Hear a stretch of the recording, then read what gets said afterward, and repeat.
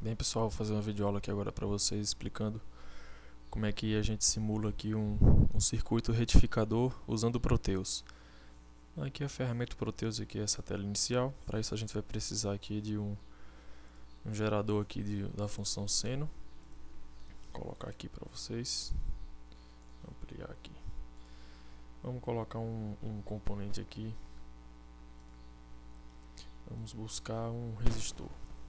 Você vem aqui, busca resistor. Esse mesmo aqui pode ser, dá um ok, pronto, tá aqui. E um componente que é o principal do nosso retificador, que é o diodo.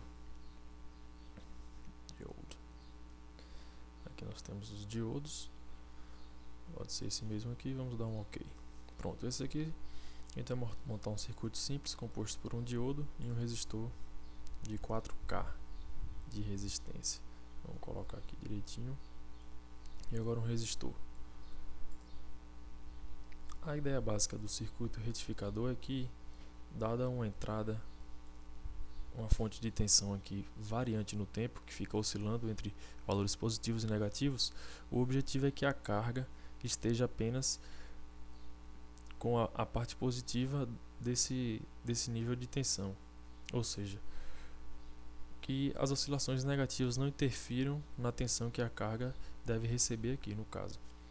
Quando for o pico negativo, o diodo vai cortar e aqui será nível de tensão zero. Então ele vai retificar apenas a metade, dos, a metade de um ciclo do, do seno, ou seja, o, só o semiciclo positivo que vai ser fornecido a carga aqui. Então a gente vai ligar aqui os, os componentes.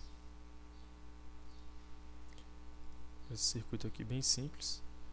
Vamos procurar aqui o, o terra. Ground. Aqui ground. A gente coloca ele aqui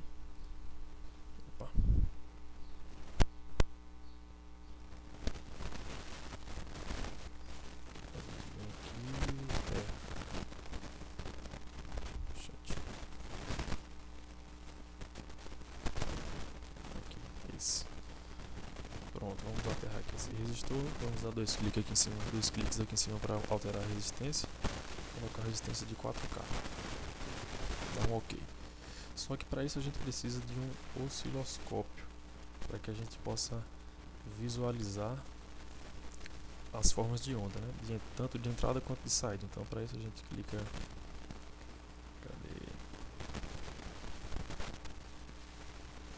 Componente osciloscópio. Pronto. Aqui em instrumentos, a gente vem aqui no osciloscópio, coloca ele aqui. A gente vai ligar aqui na, na entrada A, vamos colocar a onda de entrada do da, da tensão de entrada que nós estamos tratando como seno e a saída aqui nesse ponto vamos colocar na entrada B. Então aqui a gente pode visualizar direitinho como é que está sendo feita essa retificação do sinal de tensão, né? Vamos simular aqui para ver.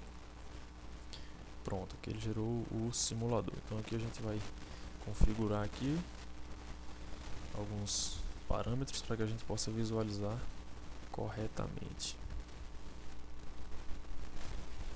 Então.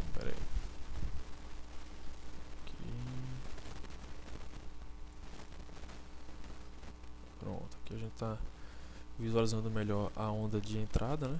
A entrada senoidal, então aqui a gente vai configurar no canal B a entrada, a saída que está sendo dada pelo diodo retificador, ou que está sendo dada pela carga, né? Então aqui você observa que o, o seno aqui no canal A ele, está, ele tem todo o seu percurso, tanto obter picos tanto positivos quanto negativos. E aqui na carga a gente observa que ele só deixa conduzir nos picos positivos. Quando os picos são negativos, o diodo aqui vai cortar e o nível de tensão é quase zero aqui. Então ele é, esse aqui é o característico retificador de meia onda. Se a gente poder mexer um pouquinho mais aqui só para ficar mais bem posicionado.